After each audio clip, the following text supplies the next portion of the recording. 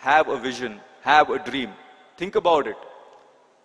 Ask yourself, what is it that you want to invest your life in?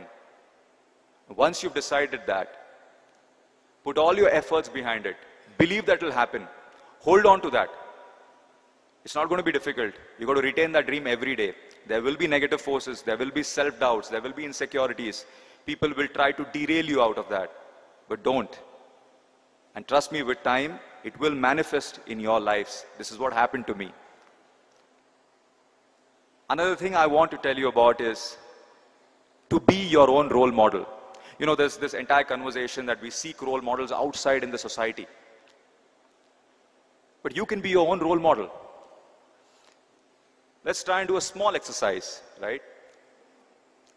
Uh, so I, got, I told you about the law of attraction. I told you about how you can visualize your dreams.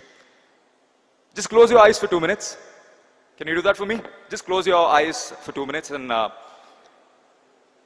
visualize, dream. Dream about a role model. That role model is nobody but yourself. The future version of yourself. Right? Think about the future version of yourself.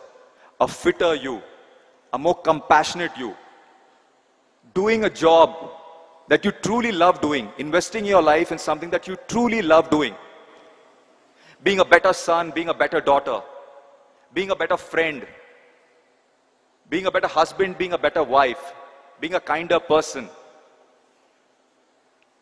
Now, with that visual, don't you think that is something that you want to invest your life in? So try to be your own role models. You can open your eyes now for those who have still closed your eyes. Just look beside you, the person next to you.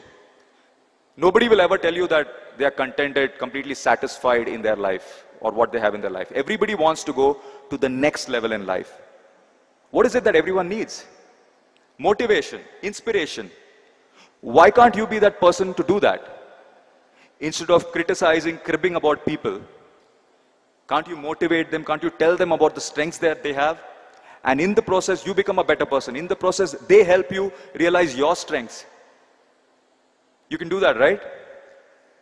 I would say find your voice and help others find their voice.